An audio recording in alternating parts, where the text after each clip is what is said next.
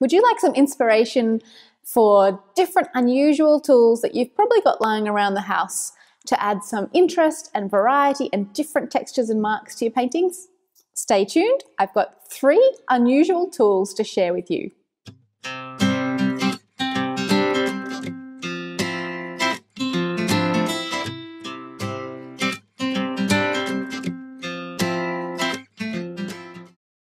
So I'm very excited to show you these tools today because they're probably things that you've unknowingly got lying around the house already.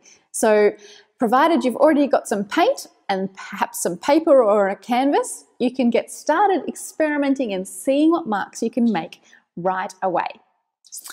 The first tool that I wanted to share with you is the very humble kitchen sponge. Now we explore a little bit about how you can use sponges in my free e-course, the Get Started with Painting and Creativity e-course that you can get at nicolanewman.com slash begin. But basically, you can use these for all kinds of different processes. You can stamp with them, you can drag them and make interesting kind of squiggly dragging marks. And you can also cut them, as you can see I have with these blue ones, into different shapes and sizes to vary the different marks that you can achieve. So that's tool number one.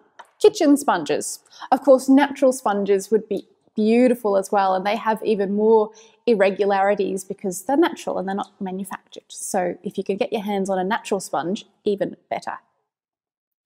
Tool number two is something that if you're a little bit handy around the house and have done some plastering, you're likely to have some of these.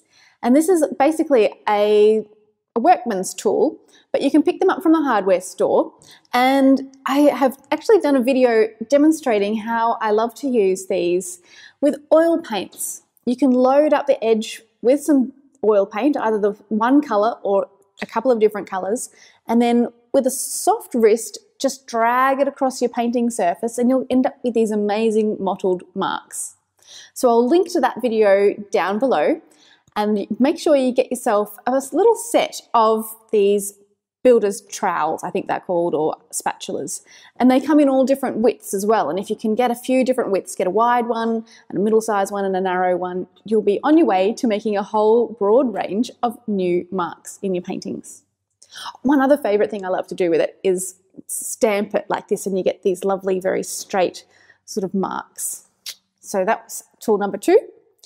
Tool number three, you can go for a little visit to your laundry cupboard and you'll probably find a spray bottle. Now the spray bottle is one of my favorite ways to help people get started with a painting. And you can um, simply drip some paint onto your canvas and then using a spray bottle, spray away on the canvas and then turn your canvas around and it'll drip and make all these different amazing, interesting marks. That's just one of the ways that we cover in the five fun ways to get started with paintings in my paid program, Flourish with Painting and Creativity. But I'm giving you that tip because it's so much fun and I want you to be able to have a play with it right away. But if you're looking for more inspiration and more exercises that you can follow along with me step by step and feel really nurtured and guided in the process, by all means, check out Flourish with Painting and Creativity because it's a fantastic program and it's loads and loads of fun that will reward you for many, many years to come. So there's my three tools that you've probably got lying around the house and feel free to share in the comments below if you've got ideas for other tools that you like to use. I know people have different things that they love to use for stamping or scraping, and I'd love to hear from you what yours are. So I'm wishing you a fantastic week. Be kind to yourself, nurture your creativity, and I'll see you next time. Bye.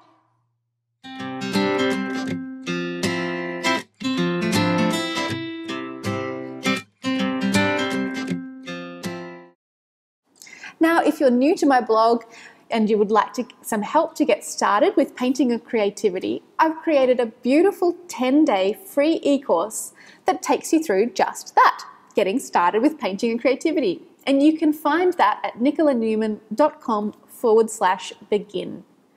And in there, you'll be taken through how to paint an abstract painting, we'll do some writing and some photography exercises, and it's loads of fun.